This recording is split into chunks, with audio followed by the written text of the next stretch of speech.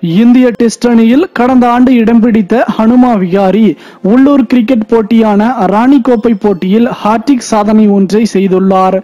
ராணி கோப்பை வரலாற்றில் தொடர்ந்து மூன்று இன்னிங்ஸ்களில் மூன்று சதம் அடித்து புதிய வரலாற்று சாதனை செய்துள்ளார் ஹனுமா விகாரி.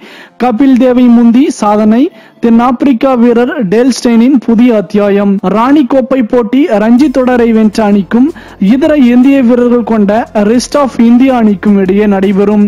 அந்த வகையில் இந்த ஆண்டு ரஞ்சி தொடரை கைப்பற்றிய விதர்பா அணிக்கும் இதர இந்திய வீரர்கள் அணிக்கும் இடையே ராணி கோப்பை போட்டி நாக்பூரில் நடைபெற்று வருகிறது.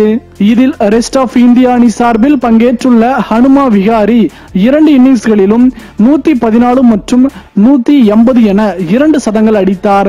இதன் மூலம் இரண்டு முக்கிய சாதனைகளை செய்துள்ளார் அனுமா விகாரி. இரண்டாயிரத்தி பதினொன்னில் தவான் ராணி கோப்பை போட்டியில் இரண்டு இன்னிங்ஸ்களிலும் சதம் அடித்திருந்தார்.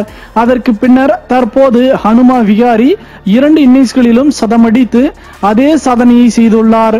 இதுவரை எந்த வீரரும் ராணி கோப்பையில் இந்த சாதனையை செய்ததில்லை என்பது குறிப்பிடத்தக்கது.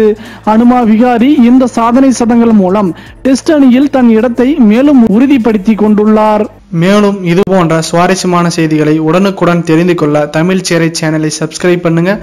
மறக்காம பெல் ஐக்கானை கிளிக் பண்ணுங்க.